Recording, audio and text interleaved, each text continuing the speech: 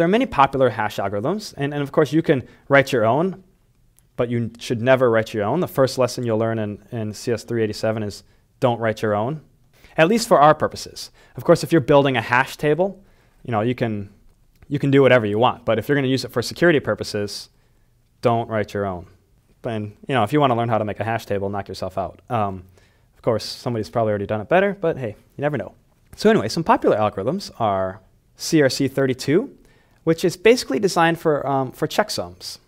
If you were to send somebody a bunch of data, you know, like a big file, um, you, know, you might also include a, a, a CRC of, of, of, that file, and that you know, is, is basically just a simple way to verify that you've got the entire file and it's not corrupted because um, you know, you can send a C you can send a hash easier than you can send a whole file. You know, you can copy and paste a hash, it's just a few bits. You can verify that the file they you received has the same CRC as the file they sent. And then you don't have to you know, verify bit for bit that you have the correct file. So CRC is really fast. Um, it's, really, it's really only purposes for doing checksums, basically creating a hash of a large file. Its security properties are not very good. It's very easy to find um, what we call a collision, which is when um, you know, when, when, when, two things hash to the same value, which is, you know, the whole point of a hash is that we can get a, a different value for almost anything that we're going to hash. Now, obviously, if, if the um, size of the input is substantially greater than the size of the output, um, yes, there are going to be collisions. The whole point is that it's hard to find them. And with CRC 32, it's very easy to find them. The reason you'd use CRC is because you don't care about collisions, you just care about speed. And CRC is very fast.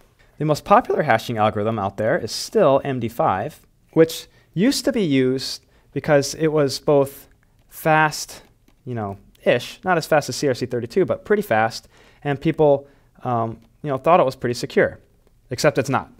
Um, MD5 has been broken repeatedly over the last uh, few years, and it's very easy to find uh, MD5 collisions. You know, given uh, you know an X that hashes into a Y, it's very easy, given this y, to find um, another x that hashes into it, which is, as you'll see, a big problem. So we won't be using MD5 for much at all in this class.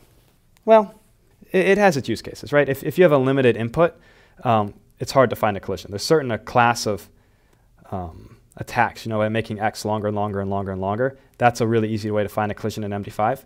But if you limit the length of x, then you, you, don't have to worry too much about that vulnerability. So anyway, just keep that in mind. Um, when you really care about the data, don't use MD5. The second most popular hash is called SHA-1. This is not as fast, but it's fairly secure. Just now are we starting to kind of hear you know, demonstrations of people finding uh, collisions in SHA-1. It's still pretty good. It's, it's actually the second most widely used hash behind MD5. But for things going forward, you should really use something like, for example, SHA-256, which is, um, as you might guess, just kind of a bigger version of SHA-1. Um, it's actually not the algorithm I believe has changed as well.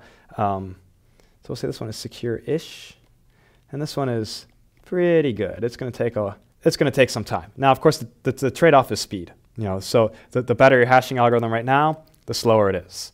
Um, so these are kind of these are basically organized in cost and in security. So no big surprise there that there's a kind of an inverse correlation between uh, cost and security, but that's the name of the game. So depending on what problem you're working on, um, you may, may need to actually make a decision. But for our purposes, we're not going to get a whole lot of traffic. Um, we'll probably use SHA-256 for most things. So let me show you how you would use these.